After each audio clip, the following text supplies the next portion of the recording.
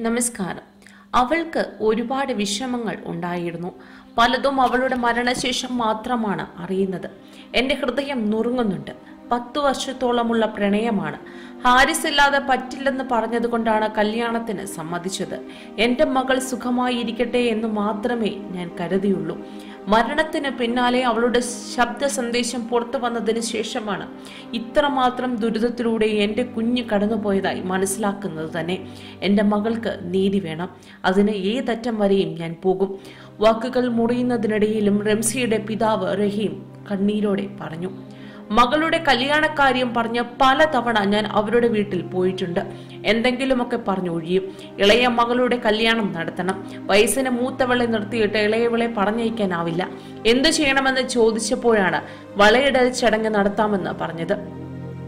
ലക്ഷക്കണക്കിന് രൂപയുടെ സമ്മാനങ്ങളും പള്ളിമുക്കിൽ ഒരു വർക്ക്ഷോപ്പ് തുടങ്ങുന്നതിന് ആവശ്യമായ തുകയും നൽകിയെന്നും റഹീം പറയുന്നു.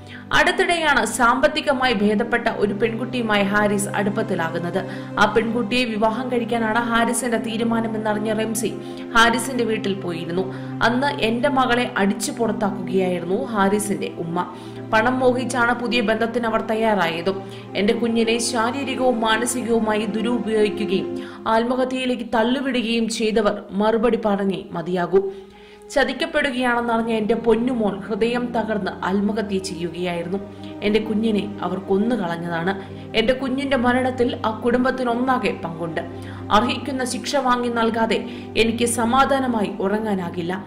റംസിയുടെ മരണത്തിന് ഹാരിസിന്റെ സഹോദര ഭാര്യയായ സീരിയൽ നടിയെയും ഹാരിസിന്റെ കുടുംബത്തെയും പ്രതി ചേർക്കണം ഷൂട്ടിങ്ങിനായി പോകുമ്പോൾ പലപ്പോഴും റംസിയെയും നടി കൂടെ കൂട്ടുമായിരുന്നു. കുഞ്ഞിനെ നോക്കണമെന്നും കൂട്ടിനാണെന്നും പറഞ്ഞാണ് കൊണ്ടുപോവുക. ദിവസങ്ങൾക്ക് ശേഷം ഹാരിസിനൊപ്പമാണ് പറഞ്ഞയക്കുക. ഗർഭചിത്രം നടത്താൻ അവളെ കൊണ്ടുപോയത് ഇതേ സീരിയൽ നടി തന്നെയാണ്. അവരെയും പോലീസ് ചോദ്യം ചെയ്യണമെന്നും റഹീം പറയുന്നു. ഗർഭചിത്രം നടത്താനായി മഹൽ കമ്മിറ്റിയുടെ വ്യാജരേഖ പ്രതികൾ സമർപ്പിച്ചിരുന്നു. കേസിൽ നിന്ന് സീരിയൽ നടി ഒഴിവാക്കാനായി ഉന്നതതല ഇടപെടലുകൾ നടക്കുന്നുണ്ട്. മരണത്തിന്റെ അന്നും എന്റെ മകൾ ഹാരിസിനെയും ഉമ്മയെയും വിളിച്ചിരുന്നു.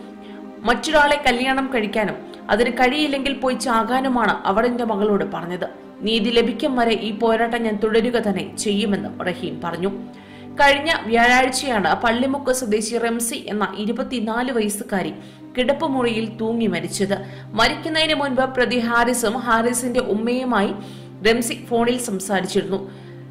ശബ്ദ സന്ദേശം സമൂഹ മാധ്യമങ്ങളിൽ വ്യാപകമായി പ്രചരിച്ചു.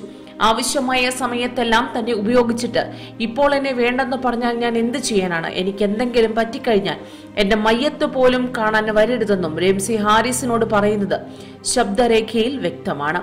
കൂടുതൽ വാർത്തകൾക്കായി ഈ ചാനൽ സബ്സ്ക്രൈബ് ചെയ്യുക.